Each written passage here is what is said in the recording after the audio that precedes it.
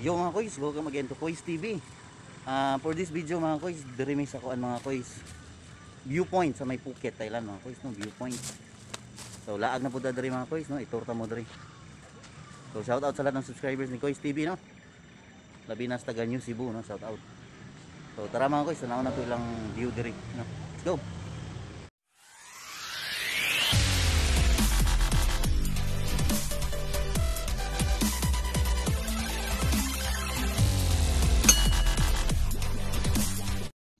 So this is the view from the top mga koy. So meron din silang telescope.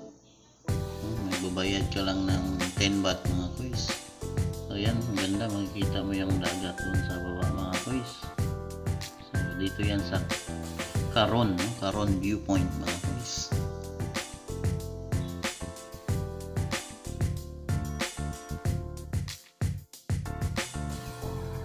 Oh, they live there? For the Squid Game. I see that already.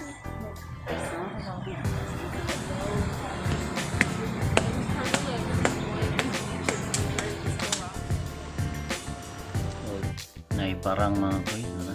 Nagwapa si parang mga koy.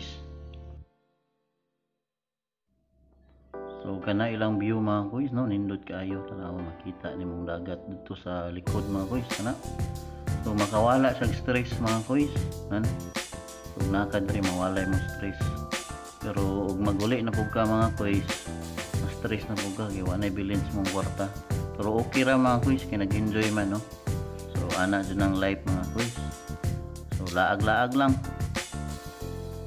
So mo ni mga pictures mga koy, kuha dari sa view.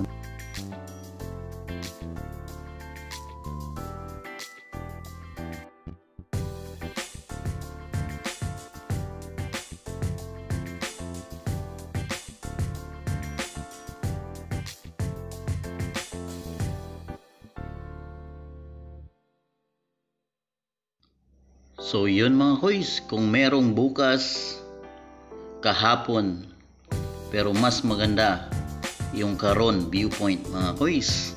So Caron viewpoint dito sa may Phuket Island mga koys. So kung gusto niyo magpunta dito, so pumunta na kayo sa Phuket Island mga koys. So napaganda.